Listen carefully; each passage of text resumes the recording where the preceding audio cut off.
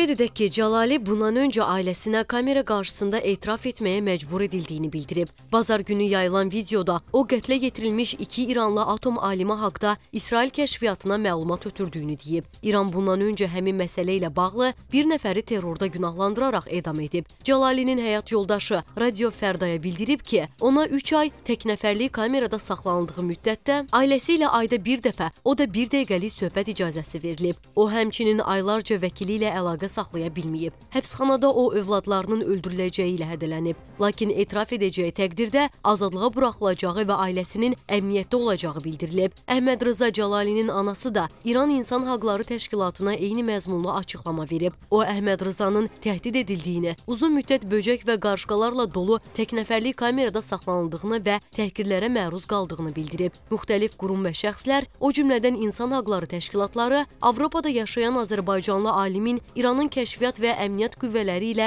əməkdaşlıq etməkdən imtina etdiyinə görə edama məhkum edildiyinə inanır. İranın ettilat məmurları uzun müddət təknəfərli kamerada saxlamaq, ruhi və cismi işgəncəyə məruz qoymaq, ha belə yalan vədlər verməklə bu kimi etirafları alır və televiziyada yayırlar. İran İnsan Haqları Təşkilatı Azərbaycanlı alimin işgəncələr altında etdiyi etirafın televiziyadan yayılmasını sərt şəkildə qınıyıb. İranda məcburi etiraf almaq, həmin etiraflar əsasında məhkəmə hökmü çıxarmaq faktı yeni hadisə deyil. Şübhəsiz bu kimi etiraflar həm də belə məhkəmə hökmləri qanunsuzdur. Heç bir legitimliyi yoxdur, deyə İran İnsan Haqları Təşkilatının sözçüsü Mahmud Əmiri müqəddəm bildirib. Avropa Birliyinin xarici işlər üzrə ali nümayəndəsi Federica Mogherininin sözçüsü Katerin Rey isə edama məhkum olunmuş Azərbaycanlı alimin işi ilə yaxından maraqlandıqlarını bildirib. Avropa Birliyi bu barədə İran rəhbərliyi ilə əlaqə saxlayır. Ötən həftələrdə bu haqda tərəflər arasında müəyyən müzakirələr də olub deyə Katerin Rey bildirib. O əlavə edib ki, Avropa Birliyi Əhməd Rıza Cəlalinin edam hökmünə qarşı olduğunu rəsmi şəkildə İran rəhbərliyinə çatdırıb.